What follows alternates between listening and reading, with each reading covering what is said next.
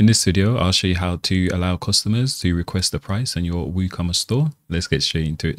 Okay, so on our demo store, currently we've got this add to cart button here. So if the customer's happy with the price, they can just go ahead and purchase it. Whereas if they plan to make a bulk order with us, then maybe they want to request a custom pricing. Okay, so in that case, they can go ahead and enter in the quantity that they're interested in. So for example, we can say we want 500 units of this particular product, but instead of adding it to our basket, we can just select request the price here, and then we can go ahead and view the quote. And then here we can fill in the information information. So the admin can customize this form. So if you need additional information from the customer, then you can go ahead and build it out accordingly. Okay. But the customer can go ahead and fill in the information and then submit it the admin will get a notification informing them there's a new quote that requires their attention. So I'll quickly show you.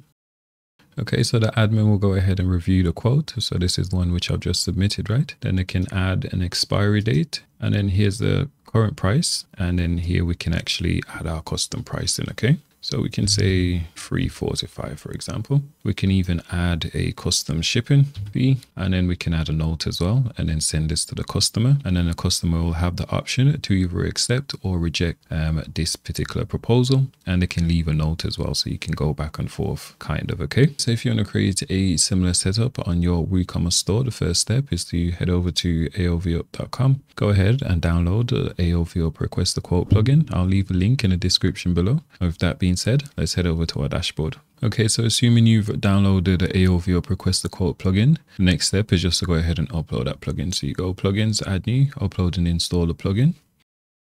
Okay, and we just want to make sure we enable this option here where it says request the quote. And then we can enable our request the quotation system. So customers can negotiate on a pricing when ordering in bulk. So let's click manage. Okay, and we'll go ahead and create a rule. This step is up to you, right? So we can create this request the quote option um, for guest users, meaning for customers that's logged out of your site, or you might only want to display it to existing customers, right? So that's customers with an existing account. So depending on the use case, you'll either create two separate rules, one for guest users, one for registered users, or just one single rule, which is for registered users only, okay? So since I'm logged in as admin, the concept's exactly the same for guest users as well. I'm going to show this particular request a quote button to only admin users, okay? Obviously, in your case, you'll set it to customers or wholesalers, whichever makes sense in your case. So for the role priority, we'll set this to one. And now we need to choose the user role. So again, I'll select admin. We can select multiple user role as well. So for example, we can display this to um, admin users and wholesale users. And maybe you want to display this to products which are currently out of stock or on back order or even in stock. In this case, I'm just going to show it for all product status. Okay. And then finally, we get to choose um, which product we want this to apply to. So we can choose the individual products or we can choose um, products within a particular category or we can just select all products here, which is what I'll do. Um, do we want to hide the pricing? We're going to select no. In this case, you can hide it if you want. It's up to you. And then for the hide add to cart button here, I'm actually going to replace, no, I'm going to keep the add to cart button and add a quote button. Okay, and then for the button label, we're going to say request price.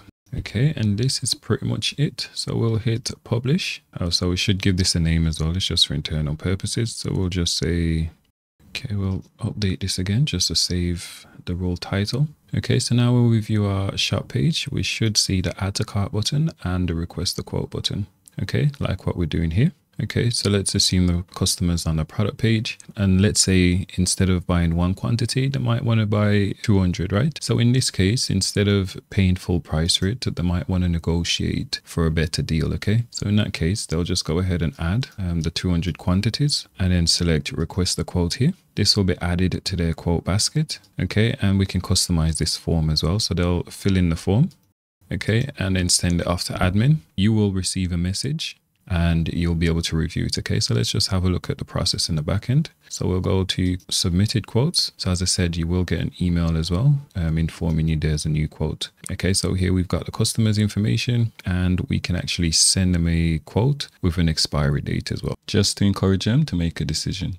Right, so here we can review the details. We can see um, the current price is this, and then maybe we can say the best price we can do is $40, for example, okay, for the 200. We can add a custom shipping charge. We can say 150 um, for this, and then we can also add a note, okay? So we can say something like, Okay, so usually there's an option that you need to tick to send an email to the customer regarding this particular quote. Since I've just requested this custom pricing with my existing admin account, there isn't that option, but in your case, there will be that option. Okay, so then all we'd have to do is just click update. I think we can still go along even though I'm logged in as admin. We need to tweak the automatic emails that will go out to the customers, but we'll get to that in a second. I just want to show you the flow and then we'll go on to tweaking the emails. All right. So as I said, since I'm already logged in, so this is the flow for a um, logged in user, um, I can just head over to my account area.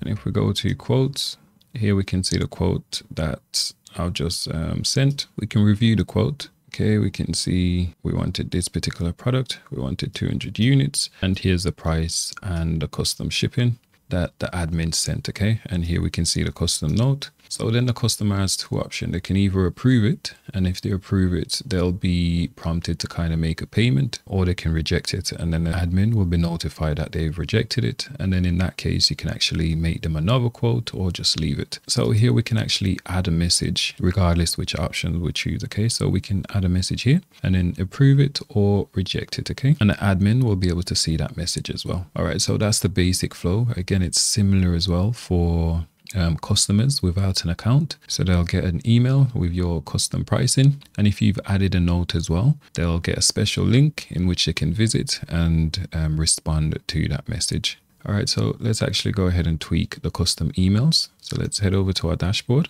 All right, and then we'll navigate over to request a quote. Let's go to settings and okay, so here we actually need to enter in the admin's email or the shop manager email, essentially whoever will be managing these um, quotes as they come in. Okay, so we'll go to email notification and in here we've got these custom emails um, for the admin. So whenever a customer has requested a price for a particular product or products, then this is the email that will be sent to admin when it's been proposed. The admin will get this email. So again, you can enable or disable any of these emails, okay, from going out. And it's the same concept as well for the customer. So whenever there's, so whenever their quote is awaiting review, then we can send this email here. When the admins actually sent the quote out, we can add this custom messaging to the quote as well. Same for when it's been approved. Maybe we can give them some further instructions, maybe just reminding them that they need to actually pay for the order. Or if it's been rejected, we can send another email as well, right? We've got more in-depth videos regarding this particular plugin.